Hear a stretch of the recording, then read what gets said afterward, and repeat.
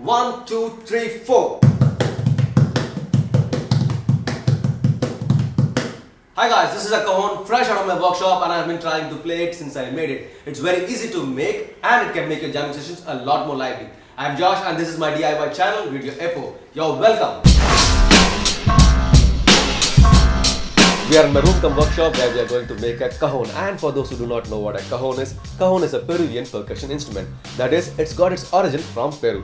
And talking about Peru, if you look at Peru's map, it resembles the shape of the local animal alpaca. Do you think so? Leave your responses in the comments below. Cajon is usually used in Afro-Peruvian music and it's a favorite with street musicians. Nowadays, you will find this instrument being used in a lot of concerts as well. It's spelled as C-A-J-O-N but pronounced as cajon. It's a Spanish word which means box or a drawer. That is what it is and we are about to make one. Most cajons have a guitar string or a snare spring inside its body to give that special sound. I'm going to use a snare spring. I've seen cajon making videos in which a regular snare spring is cut into two halves and one half is used. You could do that but I got this online which is specifically made for cajon. Links can be found in the description. Getting started, I have 18 inch by 12 inch plywood and I have 3 of those. These will form the sides of the cajon. Now there are two pieces of 12 inch by 12 inch and this will form the top and the bottom. Note that all of these pieces are of 12 mm thickness. The front is also 18 inch by 12 inch but the thickness is only 6 mm. Now this is the striking surface and it is called the tapa. Except for the front piece, all the other pieces will be glued together permanently and the front piece will be attached with screws. This is done so that the tone of the tap or the beat could be adjusted later if required. The process is very straightforward until this point. I got these pieces pre-cut from the shop and it's a good idea to share your plans with the sellers as they might give you the pieces that are left over from their project for a lesser price. You might get a good deal. One snag, however, is I want a miter joint on these pieces which I've never done before. I could fix them as it is, but then I'm trying to push myself for the extra effort and learning curve. The way I'm planning to do that is by tilting my jigsaw to a 45 degree angle and making my cuts. Let me do that with some test pieces first. Production is a must. After a bit of practice, the results seem to be satisfying. Our plywood is 12 mm thick and so we mark a line at 12 mm from the factory edge and make our cut. The two side pieces were lined up the way they would be in the final build. Then the approximate length of the snare wire is measured from the top and a hole was marked for the dowel to be inserted. Measuring the size of the dowel, holes were made on the plywood. One has a full hole that is all the way through and the other one half the way through. You will know why as we move along. The length of the dowel is about 14 inches and the extra length is for rotating and adjusting the snare spring. The dowel goes through the hole and rests on the side with a partial hole. The initial plan was to put a bolt on the ends here, but the fit is so snug that it works without those. Now the pieces are ready to be glued making sure they are squared. These are makeshift corner clamps made with a piece of angle iron and C-clamps to hold the pieces together in 90 degree angle. After making the fine adjustments, the setup was let to dry.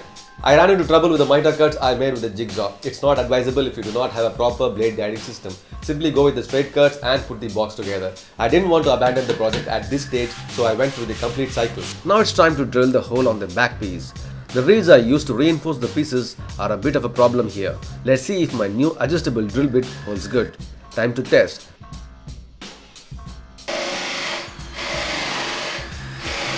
The reed is still not cut and the jigsaw was used to clear it up.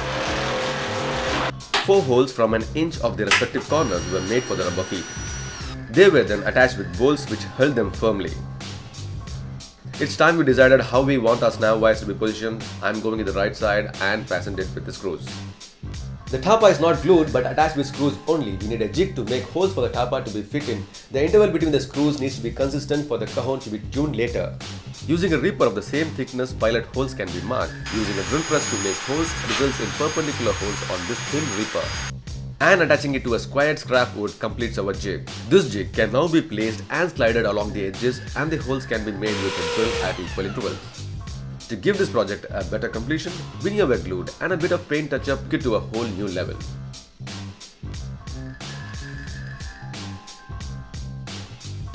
Let me just wrap up with the mistakes I made and what I learned in this process. Miter cuts with a jigsaw and without a proper blade guiding mechanism is a big no-no.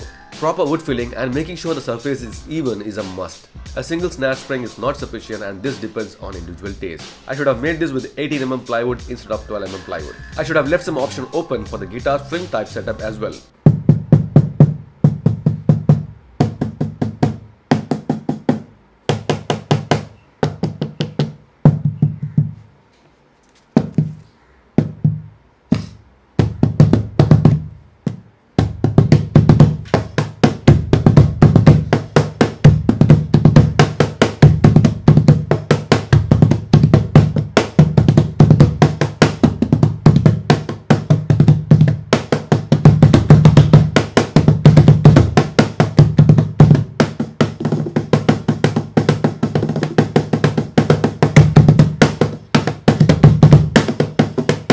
Alright guys, now the whole project has turned out to be okay. Look wise is decent and it does its job really well.